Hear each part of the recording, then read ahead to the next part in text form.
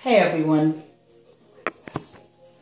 Um, the reason why I'm doing this broadcast is I'm going to expose a channel that is, uh, of course, they're atheist scumbags. Forgive my French. They're false and they're false prophets. They seem to have this hostility towards Christianity, but yet they embrace Islam. The reason why I say that is because they did a broadcast, they did a, a, a video today, and the video was talking about how Islam is not violent, how it's a peaceful religion, how, uh, oh, how there has never been any incidences in the United States where Islam was forced on somebody's throat, and that is a lie. So it's it's a it's a guy, but the channel has two people one guy that looks like uh, Homer Simpson. He's a heavyset guy. And um, a heavyset guy that looks like he got beat up. Then there's a girl that looks like Olive Oyl. Um, Olive Oyl, again, who looks like somebody tied her to the back of their truck, dragged her on the ground for several miles. That's how beat up she looks. So let me continue on.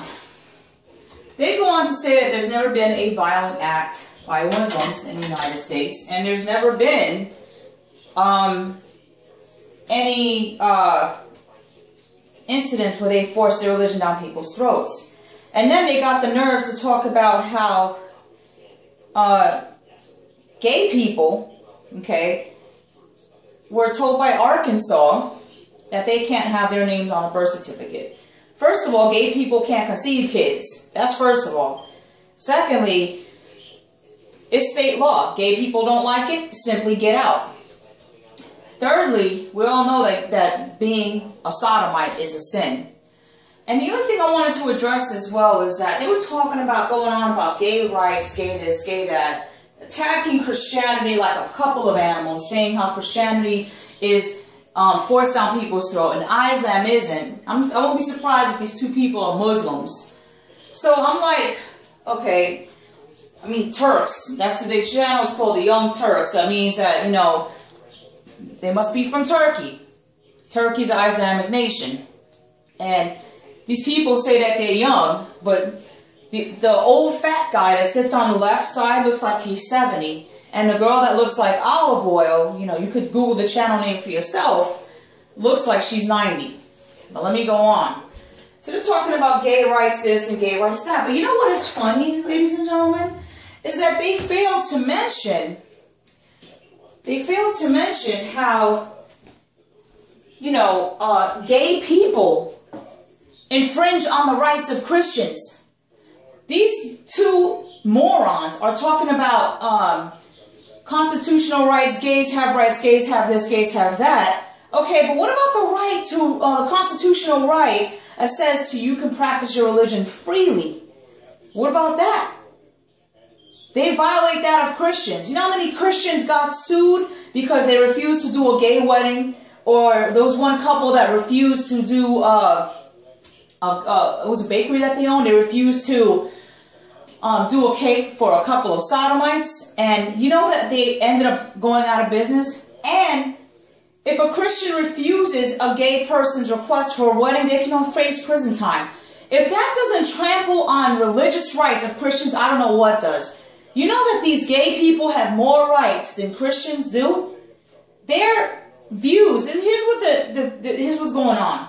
They're telling a devout Christian, you can't practice your religion. You have to accept the changing times that gays have rights to, whether you like it or not, if it's your against religion or not. That's too bad. You got to accept the facts that gay people have rights, and you will be forced to practice their practice, uh, uh, perform a wedding for them, or you will go to jail. That's what this nation has come to. They're forcing Christians to abandon their religious beliefs and accept homosexuals as being the normal way of life. So, you know, if they're accepting that, you already, you know, I mean, like I said, this this this nation is is the pigsty of nations. And the other thing I wanted to say was this: that if you you already have people coming forward, the people that practice bestiality saying that they should be able to have rights too. You have people that are marrying inanimate objects for crying out loud. I mean, people that are marrying, like, let's say, like, um, I have one woman that married, there was one woman that married a bridge and a tree. They want to have rights too. You have this nation that basically says, and this is what the Young Turks support. This is how retarded they are. That says that um, a, a guy who uh, can wake up one morning, identify himself as a girl, and he can walk into a girl's bathroom and just use the bathroom and go into her locker room. So I asked questions to one of these young Turks. You have a daughter? How would you feel if your daughter came home and said, Mom, Dad, a guy walked into my bathroom, saw me, used to, because he wanted to, you know, he walked into my bathroom to use it. He saw me while I was using the toilet. And the reason why he wanted to go into the bathroom is because he identifies himself as a girl even though he's not. Or how would you feel if you, your daughter was a victim of rape by a Muslim person? I'm not saying all Muslims are rapists. I'm saying that that happened. A lot of refugees are Muslims that are coming into this country, posing as refugees, excuse me, and they're rapists. So how would you feel if your daughter got raped by, gang raped by Muslims? I bet Mr. Young Turk and Mrs. Young Turk you would not be talking all that crap that you're talking. You would have a totally different view. And you ask for an example about how, um, you ask for an example about how Dearborn, Michigan, oh, I'm sorry, uh, if there's any, any uh, examples of violence of Muslims against Christians. You people are the biggest, stupidest morons on the planet the Turk, uh, the Young Turk channel. Because if you go on YouTube and you Google Muslim protests or Muslim stones Christians, you will find scores of videos. And if you want to know some more, Dearborn, Michigan, Christians are getting stoned every day. And Christianity is not a violent religion. That's why many Muslims are leaving Islam. Islam is a violent religion. And it's very apparent that you young Turks, before you start running your big mouths, do your research. It's apparent you haven't read the Hadith and you haven't read the Quran.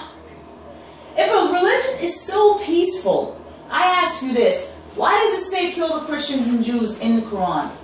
Why does it say wage war against them, the infidels? The infidels, why does it say to kill the infidels? Which the Muslims consider you as an atheist and anyone that is not a Muslim an infidel. Yet you got the nerve to say that Muslims are not violent? I'm not saying all Muslims are not violent, but you're saying Islam as a whole is not violent. Before you run your mouth, read the Quran and read the Hadith and do your research instead of running your big mouths. You have one guy in Young Turks that needs to lose weight. So if he needs to, if he's running his mouth, he's running his mouth obviously eating a lot of food. He needs to start running his, his fat behind to the gym. As for the girl, she needs to stop putting on a pound of makeup because she looks like a $2 tramp. And I'm going to be real and I'm going to say it like it is. Look at my channel name. So anyway, I was just outraged by what I saw. Um, I'm sure I'm not the only one that exposed this channel for the fraud it is. And you got 2 million morons, 2 million plus morons listening to these people. This channel, The Young Turks, is no more than a cult. They have no proof that God exists or not. They don't have any proof. You know something? I'm not a fan of Putin, but I'm going to say this. He does not tolerate any of the stuff that's going on in this Sodom and Gomorrah nation that we live in. He doesn't. Sometimes, you know, I feel that this nation needs a leader like that. I'm not saying a leader that's a communist. I'm saying a leader that lays the law down and lets y'all know, okay, that if you are a Muslim and you're going to be living in this nation, you're going to abide by the laws. And if you are a homosexual, you're going to abide by the laws as well. Even if they don't allow homosexuality, you don't like it, you can simply leave. Now, these, these atheists ask for another example about Muslim violence. Okay. David Wood has a large following, and he exposes Islam for what it is. He went to Dearborn, Michigan, and him and his crew were stoned. You can easily Google that video. It's another example among many. Let's see. Oh, there was beheadings. Beheadings in America. And the ones that did the beheadings was a Muslim. You can look that up for yourself. And don't sit there and say it's propaganda because they were devout Muslims. Another example I can give you guys is uh, a friend of mine, actually at work. Um, she said to me that she was preaching the gospel. Okay? She's a Christian. Then she told me that a Muslim came up to her and started chanting uh, Al Akbar right in front of her while she was preaching. She wasn't doing anything. And he started pushing her. It took three good Samaritans to stop him because that Muslim man was becoming violent. There's many examples, okay? Now, as I said, if you go to Dearborn, Michigan, that's a Muslim capital. There's over 200,000 Muslims there. If you try to preach your the gospel, they stone you. So these atheist scumbags on the Young Turks don't know anything what they're talking about. Another thing I wanted to point out is these Muslims that come in your country expect you to appease them. And I made a video about that. So what happened was, was that there was this one guy, you could Google it on YouTube again, you could search it. They told him that, um, sorry you guys, I'm trying to get ready because I have a meeting and, and talk to you at the same time. So basically what they told him, they told him that, because he, he, he has a, a pig farm that he had for generations, I mean generations. So this Muslim person moved there and he bought a plot of land next to him because he wanted to build a mosque. He got the audacity, I mean the nerve, to tell this Muslim, to tell the Texan, the guy from Texas that has a pig farm, you need to either get rid of your pigs or you need to get up and move because we're building a mosque here and it's against our custom and religious. This is what I'm talking about. That, that Texas guy basically told him where to go, that he wasn't going nowhere. And now during Fridays on their prayers, you know, Muslim prayers, they hold pig races. And you know that the pig races can get very distracting, so it obviously interferes with Muslim prayers on Friday. Who do those Muslims think they are telling that man that's been there for generations to move or to get rid of the pigs? They got some nerve telling him what to do on his property. This is what I'm talking about. So if homosexuals do not like the fact that Christians find it against their religion to uh, practice a gay marriage, then they need to find or establish a nation or a state, just like the Young Turk said, where that kind of stuff is allowed. They can move to France. That is totally a sodomite nation. Go to San Francisco, California. Full of them. I'm sick and tired of these homosexuals shoving their ideologies down Christians' throat. Christians have a right to think for themselves. Christians have a right to say, no, it's against my religion. It's, it's ridiculous and outrageous that they face possible jail time. That's ridiculous. You're forcing your ideologies on a Christian. They have a free right to practice their religion and worship as they please.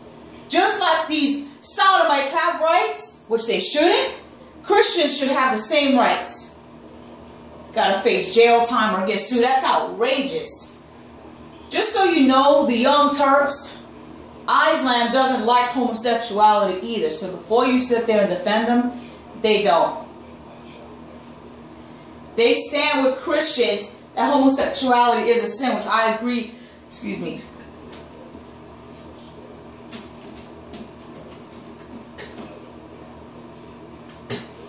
wholeheartedly I agree that it's a sin. One second, you guys.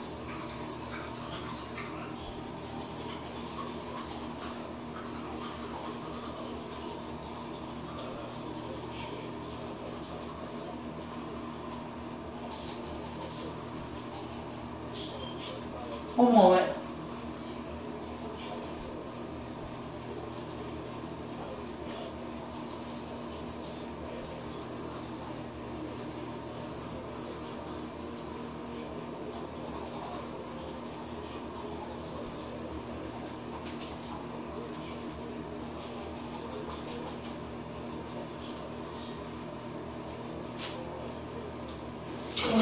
Guys.